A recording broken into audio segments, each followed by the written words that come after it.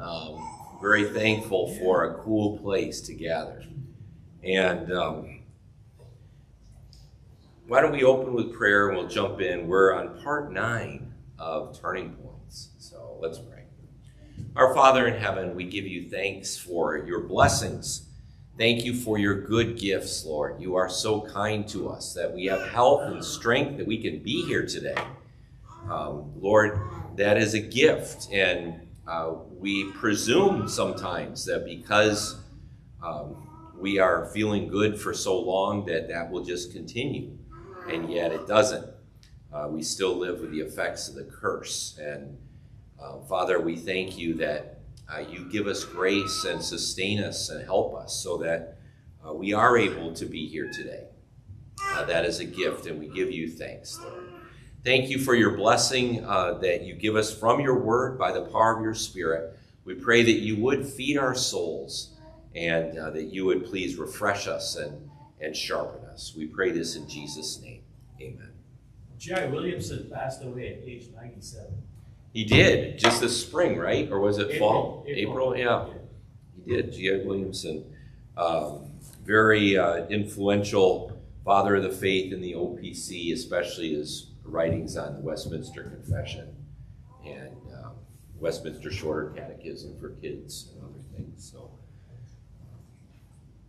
we, our time is, I mean, he didn't have a short breath. He, you know, God gave him 90 plus years. Um, but that's unusual, right? Uh, but that does, God is gracious in his own sovereign plans. And, and I'm sure Mr. Pastor Williamson was a blessing to the church as well. Well, speaking of the church, we're continuing our series on the history of Presbyterianism. And uh, we are in part nine today. Part nine is entitled the Special Commission of 1925. So this kind of gives you an idea where we're at in the timeline. And I mentioned, I think, a week or two ago, uh, or in passing, that, uh, you know, in many ways we look around us today and we see, wow, this is a really challenging season in the culture and for Christians in the United States. And uh, there are reasons to be very concerned, obviously uh, with the culture and the state of just general moral, uh, the moral climate or lack thereof. And so, um, so we have reasons for concern today. Uh, and yet, I think if you really wanted to find probably the most, uh, the most terrible decade uh, for a confessional Protestant Christian, I think that probably most terrible decade would have been 100 years ago in the 1920s, more than the 2020s. Um, and not because, again, things are so wonderful today, but in the 1920s, we saw the culmination of about 50 years worth of false doctrine and heresy working its way into the church.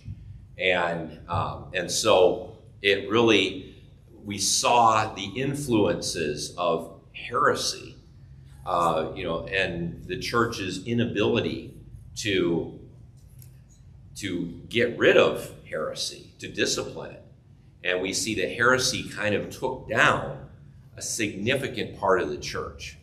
So in the 1920s, you had, uh, it, for Presbyterians, again, God had blessed Presbyterianism in the United States significantly from a start of just, uh, you know, what, 40 churches at the early 1700s to now thousands, tens of thousands of churches when 1900s rolled around. Uh, many, many institutions. Remember, there was pressure to join with the Congregationalists in, um, in the 1800s because we didn't have a seminary. And they did. You know, they had Harvard and Yale and others. And um, we saw that that actually hurt us. But now there are so many Presbyterian seminaries established. There's Princeton, of course. There's, and then the other seminaries started to go bad. Uh, but there was, we're going to read about Union Theological Seminary in New York. There, there was a good Union seminary uh, south of the Mason-Dixon line, right? There were Presbyterian seminaries in Texas that were relatively solid. There were many, many colleges and universities and seminaries that were great. And yet, in the 1920s, we saw many of them succumbing to the, the spirit of the age and heresy and abandoning the faith. Now, they didn't just shut their doors and say, you know, we're closing up. What they did is they redefined the faith. And that was the heresy of, again, lack of authority of Scripture. And then that impacted uh, what the church taught on the virgin birth, the miracles of Jesus, the reality of the resurrection. Um, did Jesus, did his death really have any uh, saving import on us. Um, all those critical questions and answers were abandoned. And so we see Presbyterian churches and ministries en masse not shutting their doors in the 1920s, but redefining what it meant to be a Christian and departing from the historic Christian faith. So they were still thinking that, hey, we're Presbyterians we heard last week that there was a movement to we need to get with the times, right? Uh, there's progress all around us in the culture. There's progress in science, the scientific method. There's progress in social sciences. And we need to change the, these core identities so that we stay relevant to the changing times. So we saw there's this movement to update Presbyterianism but update it in a way that was really unhelpful, in fact, terrible. So we saw that that was the movement behind last week's part nine, the confessional revisions in 1903, right? So the 1903, the Presbyterian Church kind of modified the confessions to make it more acceptable to the spirit of the age. But they didn't modify the confession enough in 1903 to make it a heresy. You still have the Westminster Standards as kind of holding down, putting stakes in the ground and saying this is biblical Christianity. What happened was, as the 1900s unfolded after 1903, we saw these Presbyterian institutions, churches, seminaries, mission boards, um, basically abandoning the content of the Westminster Standards and yet not being honest about it. So they were redefining the terms of the Westminster Standards. So, for example, the Westminster Standards clearly says that Jesus rose from the dead, being vindicated by the Father as the righteous one. And, and now his literal bodily resurrection was not only his vindication, but we will share in his vindication on, on the last day when we will be raised and we will be ushered into God's glory presence, vindicated, righteous. It's a big deal. The Presbyterians of 100 years ago were saying, you know what, we know science says nobody can be raised from the dead. So when the Bible talks about Jesus being raised from the dead, it didn't literally happen. So what they said is, this is all figurative. His spirit lives on the Spirit of Jesus continues, inspiring people. So, in that sense, the, the apostate Presbyterian said, the resurrection of Jesus continues. His Spirit lives on, and he continues to inspire. Another way that they uh, walked away from the faith was saying, you know what, the whole idea about Jesus being crucified and his blood turning aside the wrath of God against our sins that's so barbaric, they would say. You know, having someone's blood shed, it sounds like the volcano gods of the Pacific Ocean, you know, and they, they throw in young virgins to appease the, the, the volcano gods. That's kind of what the cross sounds like, these apostate Presbyterians said. So what they said was Jesus may have been crucified. You know, he was killed by the Romans and the Jewish mob but it didn't result in our salvation. Our sins were not imputed to Christ, and He wasn't our substitute. Instead, what they said was, um, you know, that his, his crucifixion happened, but it wasn't saving.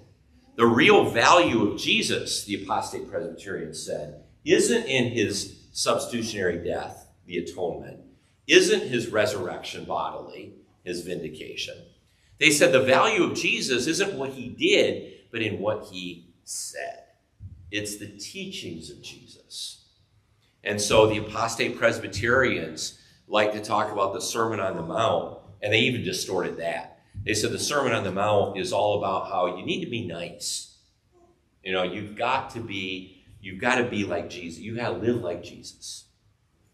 What was the number one bestseller in the early 20th century? Um, far and away sold more than any book in a period of decades. Uh, it was, I should know the author, I'm, I'm spitballing here, but it was uh, called In His Steps. And what In His Steps was all about, it sold millions of copies back in the early 1900s. So this was a huge hit. Uh, it was by Sheldon, I think. Sheldon's in his steps. And anyway, it was all about what would, it was WWJD. What would Jesus do? So it was all about the teachings and the moral life of Jesus. And that is really the heart of the Christian faith. You know, it's, it's being nice, it's living like Jesus. And, and so, so I'm giving you, trying to give you a sense of what was going on 100 years ago. Well, plus it was, it was also the backlash of World War One and everybody losing their faith in World War One. That too, and we've got the 20s and people kind of saying, hey, live, eat, drink, and be merry, for tomorrow we die. So you got the flappers, uh, just uh, promiscuity, just taking over uh, American culture. So you think that you know marriage and family today is stressed, really huge stressors in the 1920s. Uh, so the cultural morality was being stretched and torn. Um, and then you got this influx of Roman Catholics from Eastern and Southern Europe. The, the Protestants are saying, oh my goodness, we're going to be following the Pope before you know it. Um, and so what do we do? So actually, the more, a lot of the Protestants in the early 1900s said, we've got to make sure that all these immigrants are trained up to think like us.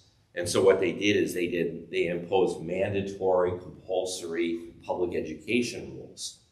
So if you were here, you had to send your kids to public schools where they would kind of be taught this generic, be nice Christianity, even though it wasn't Christianity, you know, but it was kind of ethically be nice, treat people well. Jesus was a great teacher in some ways. So if you want to know who to blame for compulsory public school education, it's actually um, apostating Protestants uh, and evangelicals too, who are really worried about the Roman Catholic immigrant hordes that were going to change the culture and following the Pope. Right. So uh, anyway, so yeah, there's a lot of these pressures in 1920s. That was easily the worst. So the 1920s, I think, were the worst decade because you had God's blessing in so many ways, and yet all these churches and institutions that were good were just being hollowed out and falling to apostasy. Even though they weren't saying, oh, by the way, we're apostate. We're, they were still claiming you can be a good Presbyterian, but they had abandoned the substance of the faith. Now, you've heard last week, I think someone mentioned uh, J. Gresham Machen, Christianity and Liberalism. Uh, he wrote that, uh, I think 1920, 21, give or take a few years either way. Um, no, well, Machen was defining all this, the spirit of the age, liberal Christianity, apostate Christianity. And he was basically saying it's they use the same terms, but they mean completely different things. It's a different religion. And that's why the title of the book is Christianity, what?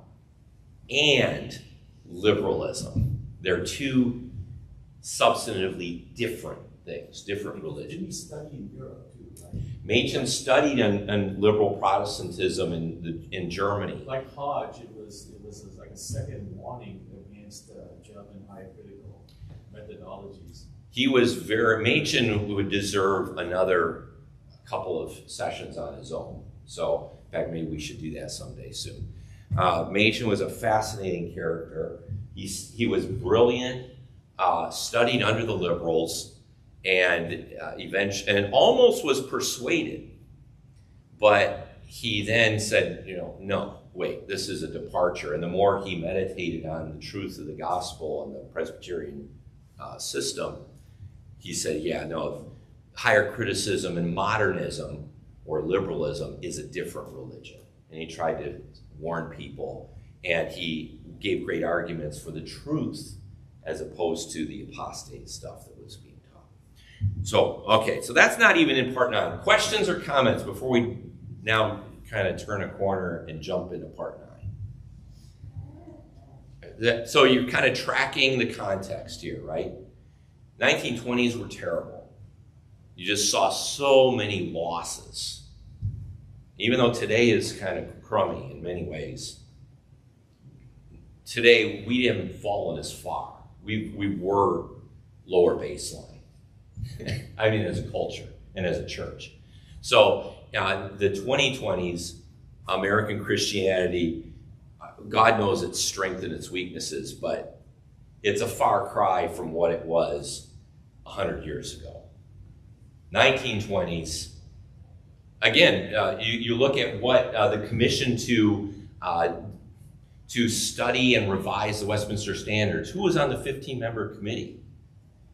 You've got a former U.S. president and a sitting Supreme Court justice, among others. Know, the, the Presbyterian Church was a cultural juggernaut. Uh, and so it, it had a lot further to fall in the 1920s. Now we were already falling a long way in the 2020s, and so now, you know, uh, but anyway. So that's what my argument. The 1920s were probably worse than now, if that's any comfort. Is that a good argument? No, that's just an historical argument, but maybe. Um, all right, so now we talk about the Special Commission of 1925, right? So they start off, progressive Presbyterians were not content with the revisions to the Westminster Confession that were approved in 1903, right? There was more work to be done to bring the Presbyterian Church into greater harmony with the modern world. And that's the spirit of the age that's kind of infecting not just the Presbyterian Church, but it's influencing the Lutheran Church, uh, the, the Baptist Church, the Methodist Church, the Disciples of Christ.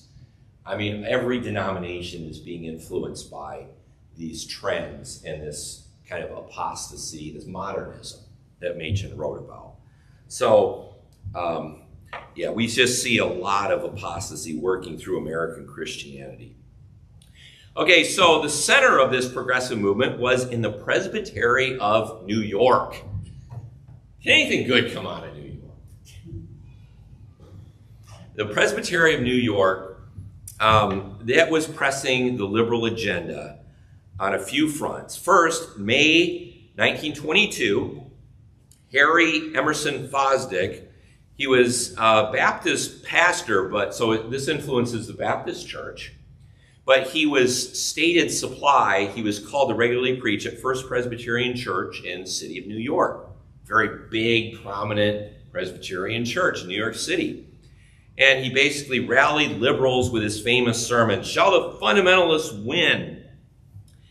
And um, a year later, the Presbytery of New York, 1923, they took the provocative step of ordaining two graduates of Union Seminary in New York, New York Presbytery, who could not affirm the virgin birth of Christ.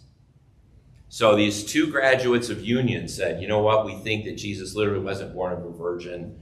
Um, you know, that's scientifically impossible. And it's not a core element of the Christian faith and they ordained them to ministry anyway.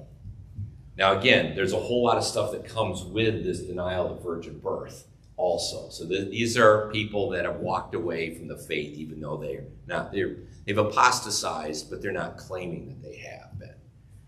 Um, they're trying to save Christianity by gutting it and making it more acceptable to the spirit of the age. Okay, so in 1923, Presbytery of New York they ordained two ministers, recent grads, who deny the virgin birth of Christ, among other things. Even worse, the Presbytery of New York then convened a gathering in Auburn, New York in December 1923. And it produced, quote, an affirmation designed to safeguard the unity and liberty of the Presbyterian Church in the United States of America. This is called the Auburn Affirmation. And the Auburn Affirmation, basically, what it it went on to describe the doctrines that were, well, like the inerrancy of Scripture, the virgin birth of Christ, the vicarious atonement, again, Jesus paying for our sins on the cross in our place, Jesus' resurrection, his bodily resurrection, and the miracles of Jesus. The Auburn Affirmation described these things as merely theories about the Bible's message. And within a year, the Auburn Affirmation had secured the signatures of 1,300 Presbyterian ministers. So 1,300 Presbyterian ministers. It's all coming out of New York, but 1,300 ministers basically said, we think all these core doctrines of the faith are optional. In fact, we kind of disagree with them. Um, and we think that we should be able to disagree and still be considered Presbyterian. If you want to find out more about these things, read Machen's Christianity Liberalism. And again, it, it actually, that book has aged surprisingly well because it's not just about modernism, but it's about these cultural trends that influence the church in negative ways and what the church needs to do, how to stand and defend the gospel. Anyway. Okay, so that's 1923. 1,300 Presbyterian ministers basically said, We're apostates. They signed the Auburn Affirmation. And we're still going to be Presbyterian ministers. You know, they're not stepping down. We think this is consistent with being Presbyterian.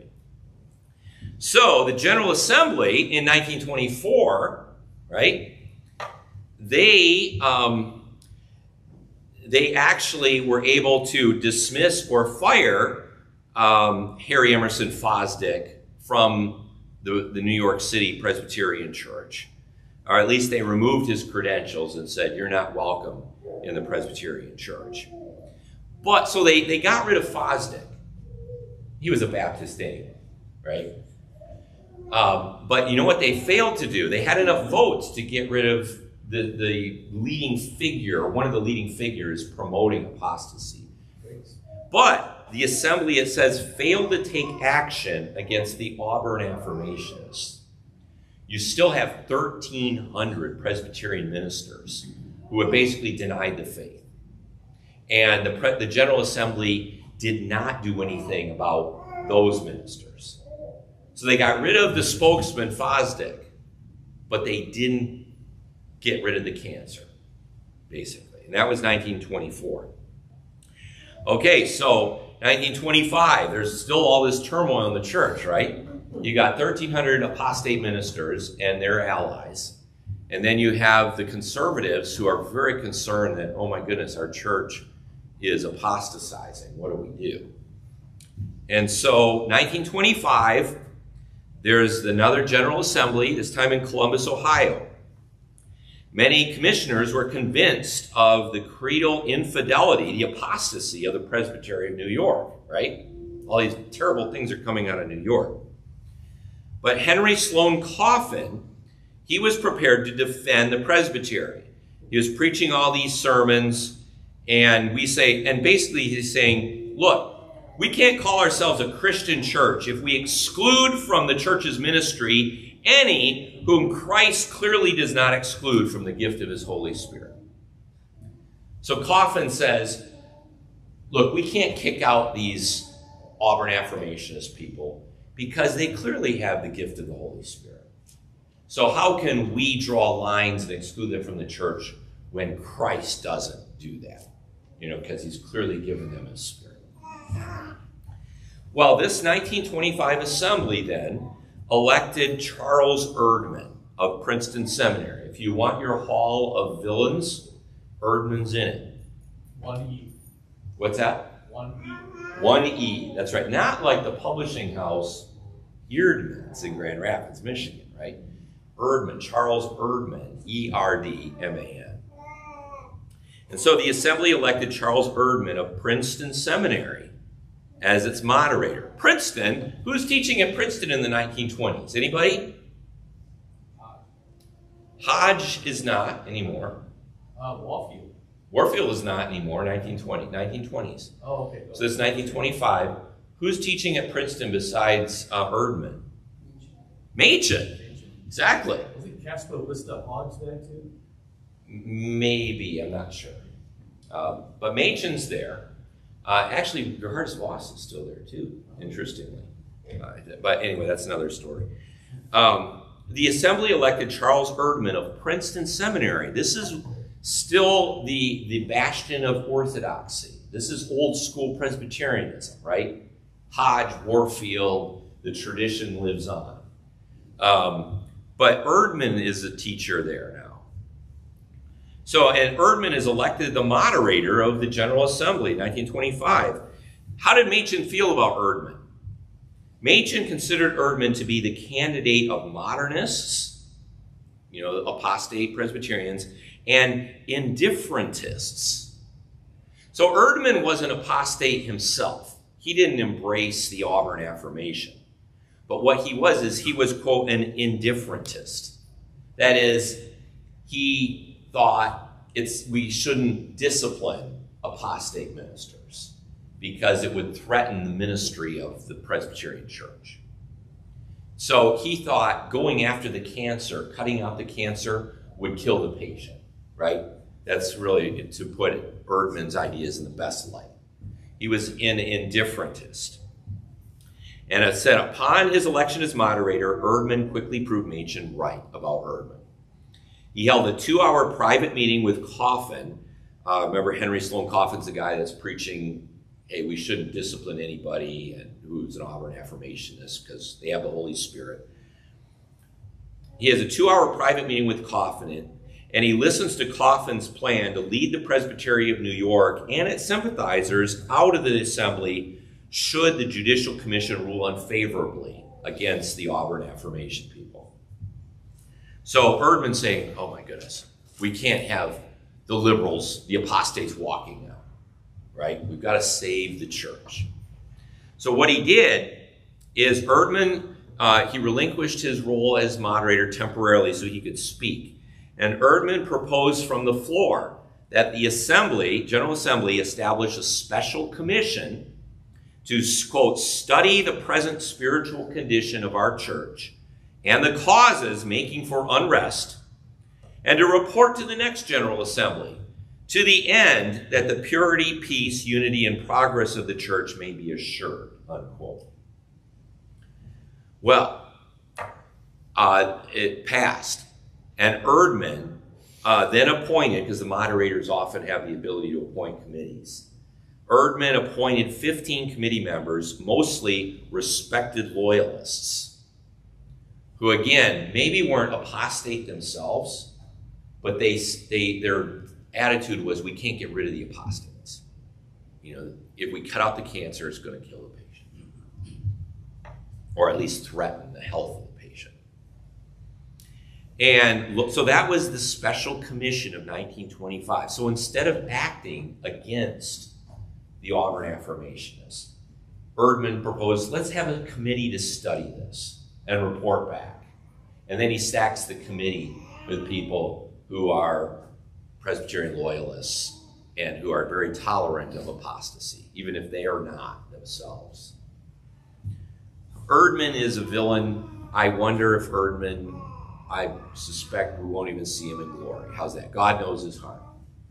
But he is truly one of the villains uh, even if he didn't deny the faith explicitly, he certainly enabled the takedown of the church and the gospel. If he's in glory, he's coming in with. Uh, anyway, okay, so uh, so then the commission of 1925 reports back in 1926 to the General Assembly, and in a unanimous report, the commission represented or presented its report in 1926, and it agreed with Coffin that there was evangelical unity in the church. American Presbyterianism stood for toleration and progress. And they said the toleration and progress really has two parts to it, according to the commission. One, the Presbyterian system admits to diversity of view where the core of truth is identical. So you can hold two different views on the virgin birth, the inerrancy of Scripture, uh, whether Jesus' death on the cross really did do anything to save us, the resurrection of Christ. If you you could have diversity of views on these questions, they said.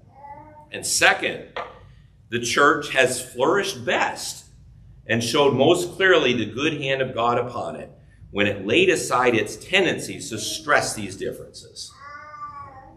So the church, when they stress unity, is usually when God blesses them the most according to this commission.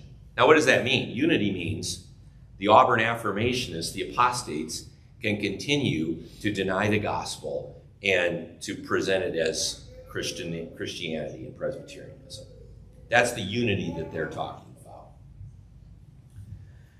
Coffin could not have authored a more agreeable conclusion. It seems to be everyone's wish to keep the peace, he wrote.